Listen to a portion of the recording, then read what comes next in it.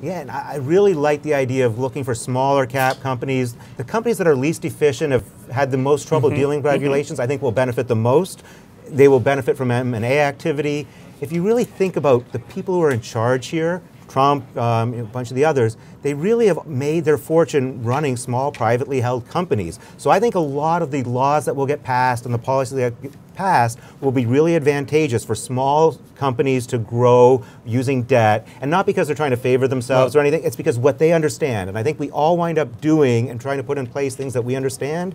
So anything that will benefit from being a small private company allowed to do what you want to do, okay. raise debt when you need, I think is very positive. And at the same time, as we continue to grow, I'd be looking overseas. I think European banks, some of them, they've been beaten down. There's opportunities there. So I would take, you know, some of my more risky money, mm -hmm. you know, maybe it's that 5%, 10% of the most risky. I'd be looking outside the US here. I'd be looking at European banks, things that have been beaten down and will benefit from, you know, any form of stability and any form of US growth.